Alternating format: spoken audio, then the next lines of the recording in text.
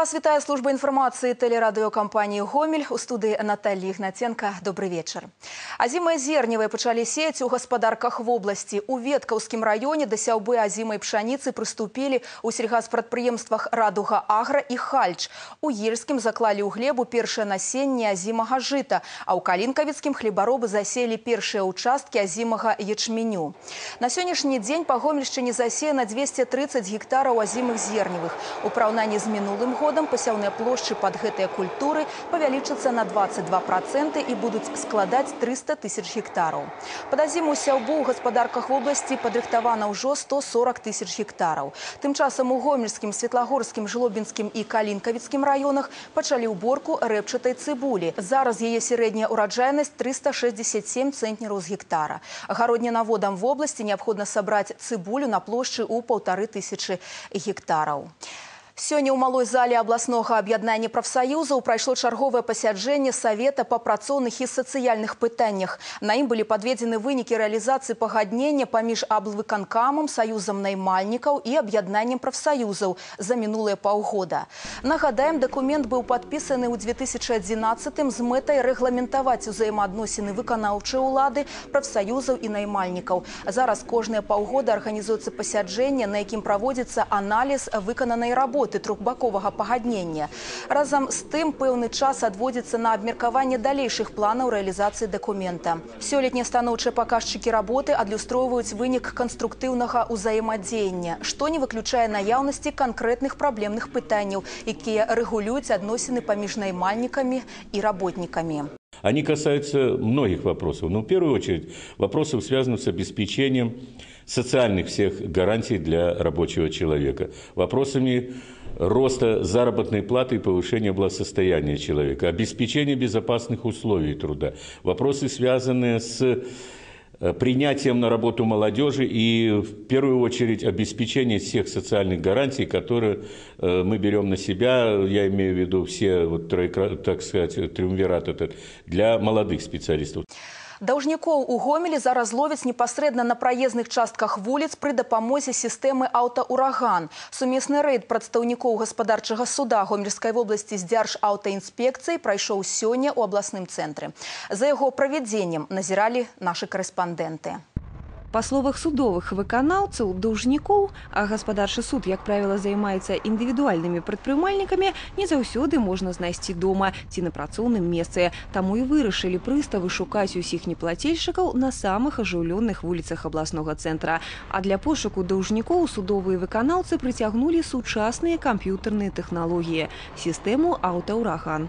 Это нам помогает э, более эффективно и быстро э, произвести э, арест данного транспортного транспартного средства. Сістэма неаднойчы показала сябе ў дзеянні. Супрацоўнікі дзяржаўтаінспекцыі выкарыстоўваюць яе некалькі гадоў для затрымання дарожных парушальнікаў ці аўтамабіляў, які знаходзяцца ў вышуку. Прынцып дзеяння просты. Відэакамера фіксуе нумарны знак і перадае яго значэнне ў агульны банк дадзеных. Связан непосредственно напрямую через GSM э, с сервером э, госавтоинспекции, который непосредственно представляет информацию мгновенно. Інфармацыя апрацоўваецца і сістэма выдае абсалютна ўсе дадзеныя пра транспартны сродак і яго ўладальніка, прозвішча, імя, парушэнні па лініі даі. Такім жа чынам у базу дадзеных можна ўнесці нумарныя знакі транспартных сродкаў дужнікоў. Калі аўтаўраган выяўляе іх, дарожны інспектар затрымлівае неплацейчыка і перадае яго ў рукі судовых выканаўцаў, якія тут жа могуць накласці арыш на аўто. Миколай Кальсин, Настасья Кучинская, Валерий Гапанько, телерадиокомпания «Гомель». У светлагорскім раёне распрацаваны зацверджаны план мерапрыемстваў па замацаванні маладых спецыялістаў. Яго прыняцце абумоўлена дастаткова значнай кадравай праблемай, з якой сутыкнуліся прадпрыемствы і арганізацыі рэгіёну. Адным з першых крокаў па рэалізацыі плана стала выдзяленне службовага жылля для медыцынскіх работнікаў. Об кадровой проблеме для районных больниц можно мерковать по таким факте. Сёлета со Светогорской ЦРБ звонились 7 з 9 человек, які пришли сюда у 2010-м. У гэтым годзе молодых специалистов 19, але колькі з іх застанецца праз два гады, сказаць цяжка. Малады спецыяліст Крысціна Пяскун лічыць, што ёй пашанцавала, не паспела прыехаць па размеркаванні ў светлагорскую бальніцу, як адразу ж атрымала службовае жыллё. Праўда, пасля папярэдніх гаспадароў у кватэры неабходна зрабіць невялікі рамонт, але правкам ужо паабяцаў дапамогу. Клопат аб маладых спецыялістах тут увогуле лічыць адным з прыярытэтаў у рабоце. Мы созвонились где-то за месяц до распределения, да, до, до момента прибытия сюда. И уже нам сообщили, правком сообщил о том, что у нас будет жилье. Он нам любезно все рассказал, экскурсию провел по городу и сюда даже привез Арендаваная аднапакаёвая кватэра ў светлагорску маладому спецыялісту штомесячна будзе абыходзіцца недзе ў 50 долараў. У райваканкаме абяцаюць гэтую суму кампенсаваць, але толькі пры наяўнасці сродкаў у бюджэце. Іншая справа, што маніторынг па пытаннях стварэння для выпускнікоў нармальных жыллёвых умоў будзе весціся пастаянна. На кастрычнік увогуле прадугледжана іх анкеціраванне наконт паспяховасці адаптацыі на першым працоўным месцы. Апрача таго, сярод запланаванага прыняцця дадатковых мер па матэрыяльнаму стымуляванню маладых спецыялістаў і адкрыццё гарачай лініі для аператыўнага вырашэння ўзнікаючых праблем. Яшчэ адзін накірунак прафарыентацыя школьнікаў. Гэта ўжо работа на перспектыву. Замацаванне кадраў з мясцовых ураджэнцаў праходзіць куды больш паспяхова. Сегодня у нас проходит э, на базе интернатуры 5 врачей-интернов. И 5 врачей-интернов – это наши выходцы из Светлогорщины, которые будут работать в следующем году у нас здесь, в Светлогорске. Вот что это радует. Олег Сентеров, Евген Макеенко, телерадиокомпания «Гомель», Светлогорский район. У гомельскім абласным музеі ваеннай славы прайшло ўрачыстае ўручэнне пагонаў маладым супрацоўнікам органаў і падраздзяленняў унутраных спраў рэгіёну. Усе падрабязнасці ў нашым наступным матэрыяле. Уручэнне лейтэнанцкіх пагонаў маладым афіцэрам міліцыі ва ўрачыстай абстаноўцы ўжо даўно перарасло ў традыцыю. А ўсё таму, што менавіта такімі падзеямі, як гэта, ці, напрыклад, першае раскрытае злачынства і запамінаецца служба. Помнится, что 50 лет тому назад я сам также торжественной обстановке получил первое офицерское звание погоны лейтенанта и с честью и достоинством пронес их через всю службу.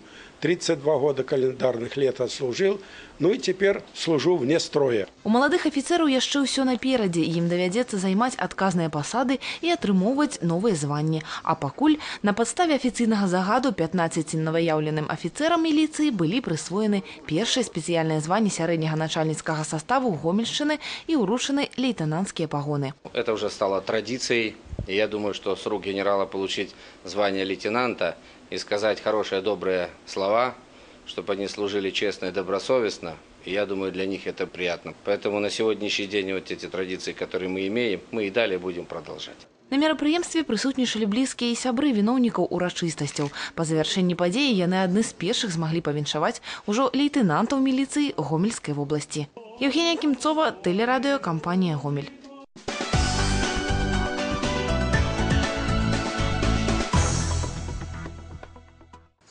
Электронны запіс на прыём да ўрача з'явіцца ва ўсіх паліклініках абласнога цэнтра да канца бягучага года. На гэтыя мэты з бюджэту выдаткавана каля 220 мільёнаў беларускіх рублёў. Сродкі будуць накіраваны на набыццё камп'ютарнай тэхнікі і праграмнага забеспячэння. На сайтах усіх паліклінік Гомеля будзе ўстаноўлена праграма рэгістратура, дзе будуць знаходзіцца электронныя карты пацыентаў. Зараз падобная паслуга існуе толькі ў філіяле гомельскай цэнтральнай гарадской дзіцячай паліклінікі. Запіс на прыём да спецыялістаў вядзецца праз інтэрнэт. Практыка паказвае эфектыўнасць такога падыходу ў рабоце з насельніцтвам. Падобная форма работы дазваляе зэканоміць вольны час людзей і паменшыць нагрузку на рэгістратара. Пасля ўкаранення электроннага запісу інфарматызацыя медустаноў працягнецца далей. У прыватнасці зараз абмяркоўваецца пытанне дыстанцыйных кансультацый альбо так званай тэлемедыцыны. Бліжэйшыя планы і далейшыя перспектывы развіцця гомельскай абласной філармоніі абмяркоўваліся сёння падчас чарговага выпуску радыёпраграмы гарачая лінія аблвыканкама. Госцем абласнога радыё стала дырэктар гомельскай абласной філармоніі Ірына Пыркова. Яна таксама паведаміла радыёслухачам аб новым канцэртным сезоне. Упершыню ў абласным цэнтры выступіць мультыінструменталіст сусветнага ўзроўню Юры Мядзянін. Гомель стане першым горадам нашай краіны, які наведае гэты малады таленавіты музыкант музыкант. Гомельская філармонія таксама ўпершыню будзе прымаць канцэрт знакамітага спевака Вітаса. Таксама для гамельчан падрыхтаваны выступленне бранскага губернатарскага сімфанічнага аркестра і штогадовае выступленне нашага знакамітага прэзідэнцкага аркестра.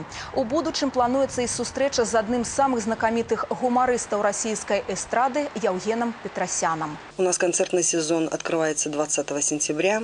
Этот концертный сезон у нас будет насыщен именно э, теми коллективами и исполнителями, которые никогда не работали э, в нашем городе. Сёння ў карціннай галерэі Гаўрыла Вашчынкі адбылося ўрачыстае адкрыццё выставы таварыства перасоўных мастацкіх выстаў 21 стагоддзя Санкт-Петербурга. Экспазіцыя прыбыла ў наш горад з Украіны пасля гадавога турне. Гэта ўжо другі сумесны выставачны праект з санкт-петербургскім мастацкім аб'яднаннем. Адраджэнне і развіццё лепшых традыцый рускага мастацтва вось галоўная накіраванасць таленавітых расійскіх аўтараў. Нярэдка таварыства перасоўных выстаў запрашае для супрацоўніцтва мастакоў з іншых краін.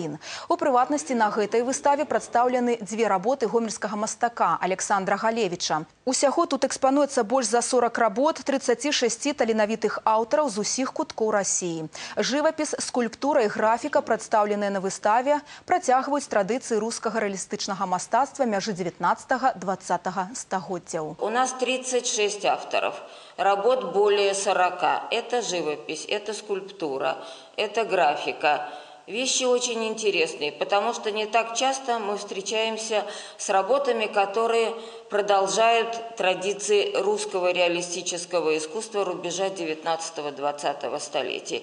В общем-то, мы почти отвыкли от этой живописи, и поэтому все, кто придет на эту выставку, с удовольствием вспомнят имена и авторов, которые жили сто лет назад, и Малявина, и Левитана, но все это на качественно новом витке художественной культуры. Это все новое, это 21 век, но мы вспоминаем хорошую школу русской реалистической живописи. Самыя аператыўныя навіны, інфармацыю аб праектах тэлерадыёкампаніі Гомель, рэкламныя прапановы, кантакты і персаналі. Гэтае не толькі вы зможаце знайсці на нашым сайце ў інтэрнэце па адрасе www.tvrgomel.by. На гэтым наш вячэрні выпуск завершаны. Усяго вам самага добрага і да новых сустрэч у эфіры.